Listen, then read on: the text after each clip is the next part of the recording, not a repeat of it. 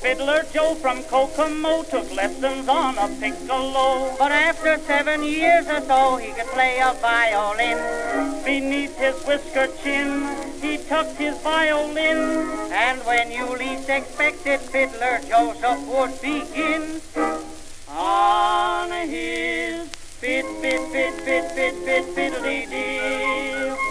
He played this melody as plain as plain could be. Now he might have played this tune on a harp or a bassoon, but he played it on his fit, fit,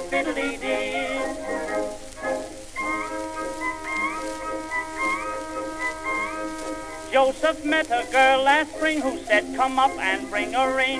Joseph had no ring to bring, so he brought his violin. A cunning B-flat grin hung from his whiskered chin. And then the maiden shouted, Mr. Fiddler, man, begin. On his fit, fit, fit, fit, fit, fit, fiddly dee.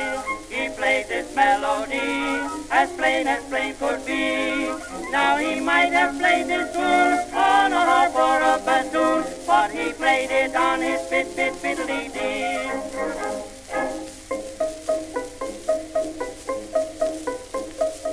Joe and Jim, like two big fools, went out one night to steal some jewels. Joseph had no burglar tools, so he brought his violin. Soon Joseph said to Jim, this is the house, go in.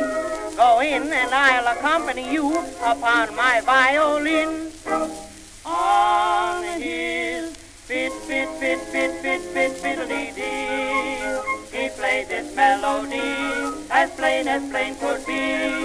Now he might have played this tune on a harp or a bassoon, but he played it on his fit, fit, fiddly dee. Fiddle dee, fiddle